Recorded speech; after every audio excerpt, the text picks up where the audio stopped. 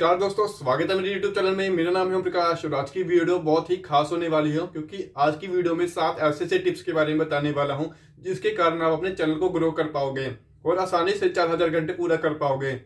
तो प्लीज़ इस वीडियो को एंड तक ज़रूर देखना। तो अगर आप अपने चैनल पे चार हज़ार घंटे पूरा करना चाहते हो और रियल सब्सक्राइबर पाना चाहते हो तो ये सात टिप्स को अपने चैनल पे इम्प्लीमेंट करो और आप खुद देखोगे कि आपका चैनल कितना ग्रोथ कर रहा है।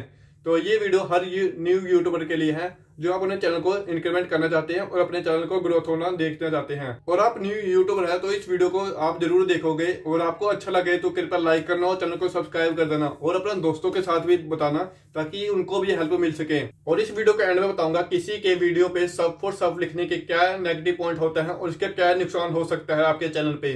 तो चलिए बताना शुरू करता हूँ सात ऐसे टिप्स के बारे में। सबसे पहले बात करते हैं क्वालिटी और क्वांटिटी की। अगर आप अपने चैनल पे क्वालिटी नहीं डालोगे तो बैड इंप्रेशन पड़ते हैं और उसकी जगह पे क्वांटिटी डाल दोगे। मान लो अपने चैनल पे तीस वीडियो डाल दी और इसमें क्वालिटी ना मिले तो ये बैड इंप्रेशन पड़ता है आपके चैनल पे। अगर आपने हफ़्ते में तीन ही वीडियो डाली तो इससे का काफ़ी अच्छा रिस्पॉन्स मिल जाता है, बाकी तीस वीडियो के अकॉर्डिंग तो मेरा सजेशन ये है कि क्वालिटी वीडियो बनाओ, ना कि क्वांटिटी क्वालिटी वीडियो बनाने से अपने चैनल पे अच्छा व्यूज़ भी पाओगे और अच्छा वॉच टाइम भी पाओगे। बताता हूँ सेकंड टिप्स के बारे में। अगर आप कोई भी वीडियो बनाए तो स्टार्टिंग के पंद्रह बीस सेकंड ऐसे इन्फॉर्मेशन कंटेंट होना चाहिए जो कि लगे लोगों को कि उनके लिए यूजफुल हो। क्योंकि 80 टू 90 परसेंट लोग स्टार्टिंग के 15-20 ही सेकंड काउंट करते हैं और देखते हैं ताकि उनको पसंद आए। बता दो थर्ड पॉइंट के बारे में जो कि काफ़ी इंपॉर्टेंट है। आपकी वीडियो का टाइटल और थंबनेल अगर आपका वीडियो का थंबनेल काफ़ी अच्छा है तो लोग आपके वीडियो पे जल्दी आएँगे और काफ़ी अच्छी व्यूज़ भी लेंगे।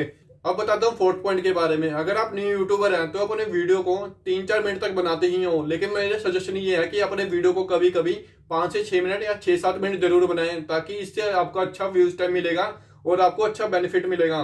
क्योंकि गूगल एल्गोरिथम सिर्फ़ लॉन्ग वीडियोस को प्रेफरेंस देता है ज़्यादा। और एक बात और बताना चाहता हूँ, अगर आप अपनी वीडियो को छह सात मिनट तक बनाते हो तो उससे अच्छा एवरेज निकलता है। क्योंकि आप छह सात मिनट के बना बनाओगे वीडियो तो कोई भी आपके चैनल पे आके वीडियो को दो तीन मिनट तक देखेगा देखेगा।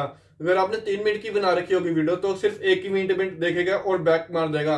इससे अच्छा आप अपने वीडियो को छह सात मिनट तक बनाओ, ताकि आपका एवरेज दो मिनट तक लिख ले ही लिख अब बताना चाहता हूँ इसके फिफ्थ पॉइंट के बारे में। अगर आप न्यू यूट्यूबर हैं और आपके चैनल पे सब्सक्राइबर कम है तो प्लीज़ अपने सब्सक्राइबर हाइड कर लो, क्योंकि कोई भी व्यूवर आके सबसे पहले सब्सक्राइबर ही देखता है।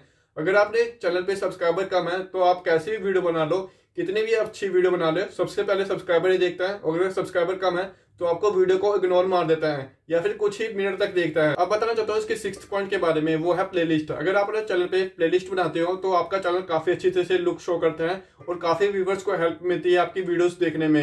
सबसे लास्ट और इंपॉर्टेंट टिप्स के बारे में वो है कार्ड्स और एंड स्क्रीन फीचर इन दोनों की मदद से आप अपने एक व्यू से, एक वीडियो से दूसरे वीडियो में कन्वर्ट कर सकते हो। मतलब कि अगर आपने वीडियो कोई भी देखी है, कोई भी एंड तक पहुँच गया तो आपने एंड की वीडियो लगा के आप उस व्यूअर को दूसरे वीडियोस में कन्वर्ट कर सकते हो। इससे काफ़ी हेल्प मिलती है और इससे अच्छा वॉचिंग टाइम भी मिल जाता है। अब बताना चाहता हूँ, सबसे लास्ट में सब फॉर सब लिखने के क्या नुकसान है? अगर आप किसी वीडियो पे सब फॉर सब लिखते हैं तो इसका बहुत ही बैड इंप्रेशन पड़ता है आपके चैनल पे। आपका चैनल टर्मिनेट भी हो सकता है तो बेटर है आप किसी भी चैनल पे किसी वीडियो पे सब फॉर सब ना लिखें। तो फ्रेंड्स, अगर ये वीडियो आपको अच्छी लगी है तो कृपया लाइक करना और अपने दोस्तों के साथ भी शेयर करना ताकि वो भी अपने चैनल को ग्रोथ करता हुआ देख सके।